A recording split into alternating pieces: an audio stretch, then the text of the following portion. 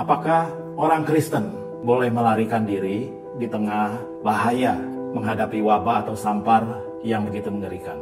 Saudara Martin Luther membutuhkan waktu kurang lebih tiga bulan untuk memikirkan dan menjawab surat itu.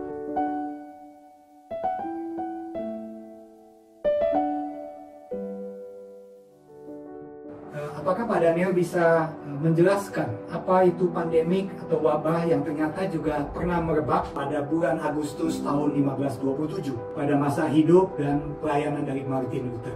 Jadi konteks pelayanan Martin Luther pada abad yang ke-16 itu adalah begini. Terjadi wabah yang namanya bubonic plague atau black death, maut hitam, yang sebetulnya berlangsung dari pertengahan abad 14 sampai pertengahan abad 17. Saudara bisa bayangkan wabah yang terjadi kurang lebih 300 tahun. Dan itu banyak korban jiwa yang terjadi di dalam 300 tahun itu. Misalnya saja, wabah yang dimulai abad 14 pertengahan dari tahun 1348 sampai tahun 1350 dalam waktu kurang lebih 2 tahun yang meninggal dunia itu kurang lebih 25 juta orang. Jadi wabah itu adalah wabah yang mengerikan, jauh lebih mematikan daripada coronavirus sekarang ini. Black Death itu sendiri selama 300 tahun merenggut nyawa kurang lebih 200 juta penduduk Eropa. Dan itu adalah sesuatu yang luar biasa mengerikan. Banyak mayat berkelimpangan, banyak orang meninggal, dan kebanyakan yang meninggal itu dikubur dengan cepat-cepat, bahkan ada yang mati di jalanan, tidak tertangani, dan situasi seperti itu terjadi di kota Wittenberg tanggal 2 Agustus tahun 1527. Warga kota Wittenberg, kota kecil sebetulnya, bukan satu kota yang besar, tapi di sana Martin Luther melayani. Dan 2 Agustus itu ketika Black Death merebak di Wittenberg, banyak orang menjadi panik, ketakutan, dan mengalami kebingungan. Sebab Black Death korbannya itu meninggal dalam waktu yang cepat 1 sampai 3 hari saja dan seluruh badannya itu borok-borok, ada bengkak-bengkak sebesar telur ayam, demam, muntah, dan mereka meninggal dengan cepat. Dalam situasi pelayanan seperti itulah Martin Luther berhadapan dengan wabah yang terjadi pada masa dia melayani. Saya tertarik membaca tulisan Bapak pada saat itu terjadi suasana kebingungan, takutan para hamba Tuhan, pengerja gereja, sehingga kalau salah mereka mengutus Johann Hess untuk menuliskan sepucuk surat kepada Luther dan bertanya apakah dalam situasi wabah yang sedang melanda ini seorang Kristen dibenarkan untuk menghindar dengan melarikan diri dari sampar wabah sampar yang mematikan tersebut. Bisa nggak Bapak tolong untuk menjelaskan catatan pastoral dari Luther apa yang saat itu menjawab pertanyaan ini? Ketika wabah Black Death merebak di Wittenberg, setelah berlangsung beberapa hari, orang mulai meninggalkan kota itu satu persatu. Dan akhirnya juga ada orang-orang yang melayani di Wittenberg itu mulai gelisah dan takut. Dan mereka juga didorong untuk meninggalkan, termasuk Martin Luther, didorong untuk meninggalkan kota Wittenberg. Tapi Martin Luther memilih untuk stay di kota itu dan tetap melayani. Pada waktu minggu berikutnya datang sebuah surat dari seorang hamba Tuhan namanya Johann Hayes yang mewakili banyak hamba Tuhan dari kota Silesia menulis surat kepada Martin Luther dengan satu pertanyaan sebetulnya. Panjangnya itu 19 halaman saja dan judulnya itu adalah Whether One Can Flee a Deadly Plague. Apakah seseorang boleh melarikan diri di tengah wabah yang mematikan atau mengerikan? Dan sebetulnya inti jawaban Martin Luther itu dua hal saja, yaitu dia menjawab apabila ada orang Kristen atau pelayan Tuhan yang kuat imannya, memilih untuk tinggal dan tetap melayani, dia seharusnya melakukan itu. Tetapi apabila ada orang yang lemah imannya dan memilih untuk pergi atau melarikan diri, silakan dia melakukan itu. Dan Martin Luther kasih contoh, ada Musa melarikan diri pada zamannya, Daud melarikan diri, Elia melarikan diri, dan semua itu adalah sesuatu yang dikatakan oleh Martin Luther sebagai bukan dosa. Jadi artinya orang yang menghindar atau melarikan diri Martin Luther tidak mengecam, apalagi mengutuk orang-orang itu. Dia mengatakan itu bukan dosa. Tetapi dia sendiri memilih untuk stay dan tetap melayani bersama dengan cukup banyak hamba Tuhan untuk melayani jemaat Tuhan yang sedang menderita sakit di tengah wabah itu. Jadi kalau gitu padanya dalam konteks pandemik virus COVID-19 saat ini, bagaimana menurut Bapak seharusnya sikap pendeta atau sikap hamba Tuhan, penginjil, dan juga para majelis diaken, apakah mereka tetap dapat melayani atau bagaimana nih Pak di saat wabah outbreak seperti ini?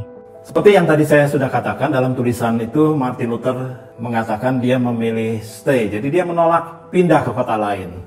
Walaupun ada orang lain atau hamba Tuhan yang melakukannya. Artinya, dia tetap mau menghadapi risiko. Dia sebagai pendeta, sebagai hamba Tuhan, dia bersedia memikul risiko menghadapi bahaya merebaknya wabah Black Death pada waktu itu. Jadi Martin Luther berpegang pada Yohanes pasal 10 ayat 11, Akulah gembala yang baik, gembala yang baik memberikan nyawanya bagi domba-dombanya. Artinya, Martin Luther mengajarkan bahwa sebagai pendeta atau sebagai hamba Tuhan, orang yang melayani, majelis atau diaken, mereka harus siap sedia melayani jemaat atau domba-dombanya dalam situasi apa pun juga, termasuk dalam bahaya menghadapi wabah ini. Saudara Martin Luther melakukan sesuatu yang sangat beresiko pada waktu itu. Karena kurangnya dokter dan perawat, Luther bersama dengan istrinya turun tangan merawat orang-orang yang terkena sampar itu. Saudara bisa bayangkan orang yang terkena sampar itu kondisinya batuk-batuk, demam, borok-borok di sekujur tubuhnya, dan ada bau dari borok-borok itu yang menyebar keluar. Situasi seperti itu adalah situasi yang sungguh luar biasa, risikonya besar sekali. Tetapi Martin Luther memilih melakukan itu karena dia mengatakan begini. Semua orang akan meninggal dunia. Dan kematian datang bisa yang pasti itu adalah karena hukuman Tuhan, karena dosa. Tetapi kematian juga menjelang kematian bisa saja bagi Martin Luther itu adalah ujian dari Tuhan yang diberikan kepada seorang pelayan Tuhan atau gembala bagi domba-dombanya. Ujian untuk imannya, ujian untuk kasihnya. Maksudnya, apakah dia punya iman yang teguh, apakah dia tetap mengasihi jemaat Tuhan dan melayani mereka walaupun ada resikonya yang besar. Jadi Martin Luther mengajarkan sesuatu yang saya kira harus dilakukan juga oleh hamba Tuhan zaman sekarang. Saudara bisa bayangkan sekarang banyak dokter dan perawat yang juga memikul risiko yang besar. Dokter tidak bisa melarikan diri dari tanggung jawabnya. Perawat harus juga punya komitmen untuk merawat orang di berbagai rumah sakit. Jadi kalau ada pendeta, ada hamba Tuhan yang jemaatnya sakit, walaupun beresiko, dia tetap harus membesuk, mendoakan, tentunya dengan memakai alat pelindung diri, tapi dia tetap harus melayani jemaat dalam kondisi seperti itu. Dan itu adalah pengorbanan yang besar. Menurut Bapak jadi apakah seorang pelayan Tuhan itu tetap harus menjaga diri artinya ya Pak di tengah-tengah outbreak ini? Atau mereka harus terus isolasi menjaga diri atau lebih baik dia pergi keluar untuk membantu jemaat yang membutuhkan pertolongan Pak jadinya nih? Waktu Martin Luther melayani jemaat-jemaat yang sakit itu, yang pertama-tama dia lakukan adalah dia selalu mohon perlindungan dari Tuhan. Tetapi, dan ini yang kita harus perhatikan, tetapi Martin Luther juga menjaga dirinya dengan melakukan disinfektasi diri. Jadi dia menjaga kebersihan. Saudara bisa bayangkan ini orang yang hidup 500 tahun kurang lebih dari kita. Sudah tahu cara menjaga diri dengan membersihkan diri. Lalu membersihkan apa lagi? Membersihkan rumah, purify the house istilahnya. Membersihkan jalan, membersihkan halaman, membersihkan peralatan dan sebagainya. Artinya, Martin Luther bukan cuma berdoa, melayani, tapi dia menjaga diri. Dia juga makan obat. Sesuatu yang dia lakukan dan dia mengecam orang-orang yang anti obat atau anti pengobatan. Sebab itu adalah sesuatu yang diperlukan. Justru dia mengatakan orang yang anti obat atau anti pengobatan itu adalah orang-orang yang sedang mencobai Tuhan. Lalu satu lagi yang Luther lakukan. Dia mengatakan jangan mengunjungi orang atau pergi ke tempat-tempat yang tidak perlu atau maksudnya jangan menulari orang lain atau tertular oleh orang lain. Maksudnya Luther sudah mengerti mengenai social distancing. Sekali lagi, hampir 500 tahun yang lalu, ada orang yang mengerti mengenai menjaga jarak, social distancing. Dan hal-hal yang tidak perlu, jangan dilakukan. Luther tidak melakukan ibadah pada waktu itu. Ini sesuatu yang di zaman sekarang ada gereja yang tetap melanggar, mencobai Tuhan, mereka tetap melakukan ibadah dan sudah banyak korban, termasuk di Indonesia. Ada pendeta yang meninggal atau jemaat yang terinfeksi dan sebagainya. Maksudnya Luther begini, ibadah bisa ditunda, tetapi menolong orang, menolong jemaat, itu adalah sesuatu yang harus dilakukan meskipun berisiko, meskipun taruhannya nyawa. Jadi dia tidak melakukan satu tindakan mencobai Tuhan, dan Luther mengatakan, lakukanlah ini seperti saudara melihat kota tempat di mana saudara tinggal itu sedang kebakaran dan saudara dipanggil untuk memadamkan api itu.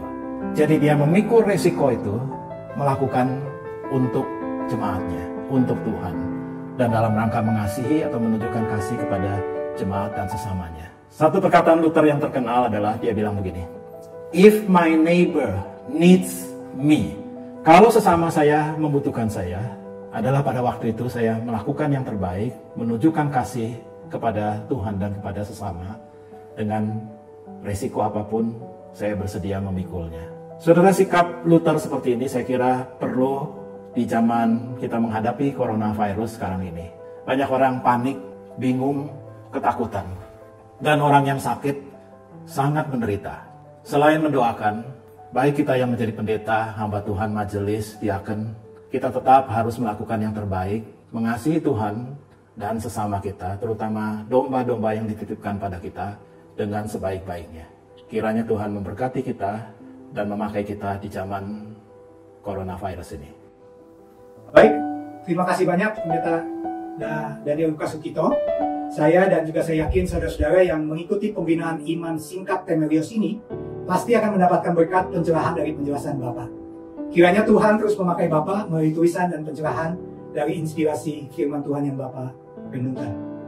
Nah, saudara, demikianlah pembinaan pertama daripada serial pembinaan Temelios ini. Saya berharap kita terus saling mendoakan, sehingga kita terus bisa jadi saksi Kristus di tengah-tengah zaman wabah pandemik maupun di tengah situasi hidup apa pun untuk kita bisa dimampukan membawa kabar baik.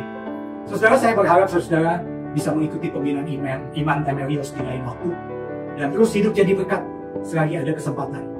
Dan tentunya sebagai anggota Yayasan Seminari Alkitab Asia Tenggara, kalau saudara mau mengikuti untuk mendukung pelayanan Seminari Alkitab Asia Tenggara yang membina mahasiswa untuk menjadi hamba Tuhan, baik pendeta, penginjil, menjadi misionaris atau menjadi pekerja bagi Tuhan di mana pun mereka ditempatkan, saudara bisa berbagian dengan persembahan pada rekening yang berikut. Shalom, Tuhan memberkati.